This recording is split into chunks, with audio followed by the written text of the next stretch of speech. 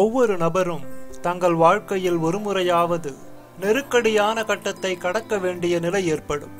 நீங்கள் நிச்சயம் வாழ்க்கையில் சில சிரமங்களை சந்திப்பீர்கள்.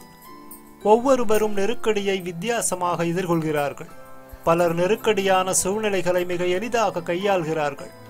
சிலரோ வாழ்க்கையில் சிறிய பின்னடைவை கண்டே பயப்படுகிறார்கள்.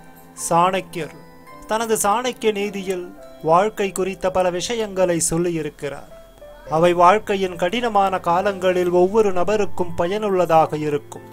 ஒரு நபர் ஆபத்து காலங்களில் என்ன செய்ய வேண்டும் என்னென்ன விஷயங்களை மனதில் வைத்துக் கொள்ள வேண்டும் என்பதை இந்த பதிவில் பார்க்கலாம். தைரியம்.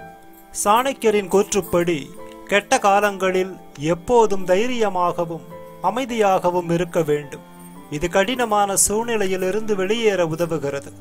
அதற்காக எப்போதும் தைரியத்துடனும் பொறுமையுடனும் பணியாற்றுங்கள்.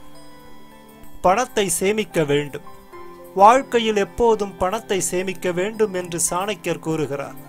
ஏனெனில் நெருக்கடியான காலங்களில் பணம்தான் உங்களின் சிறந்த நண்பனாக இருக்கும் என்று கூறப்படுகிறது.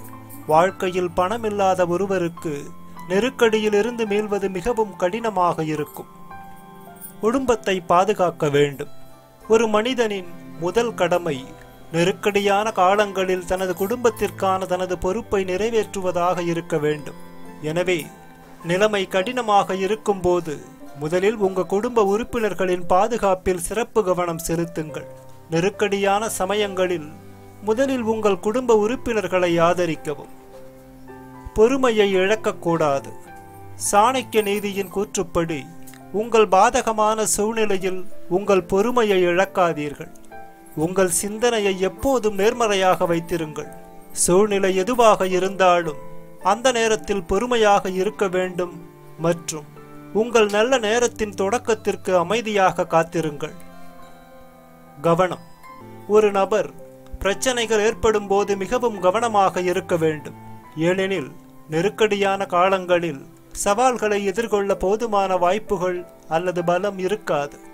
எனவே இதுபோன்ற சூழ்நிலைகளை எதிர்கொள்ள நீங்கள் முன்கூட்டியே தயாராக இருக்க வேண்டும். ஏனெனில் ஒரு சிறிய தவறு பெரிய பாதிப்பை ஏற்படுத்தும்.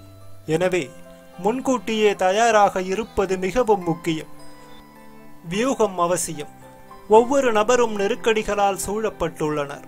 அந்த சூழலை சமாளிக்க நீங்கள் ஒரு வலுவான வியூகத்தை உருவாக்க வேண்டும். ஏனெனில் நெருக்கடியிலிருந்து விடுபட உங்களுக்கு ஒரு புத்தி இருந்தால் அந்த சூழலை மிக எளிதாக நிர்வகிக்கலாம். மீண்டும் சாணக்கிய நீதித்துளிகளின் அடுத்த பகுதியில் சந்திப்போம். நன்றி.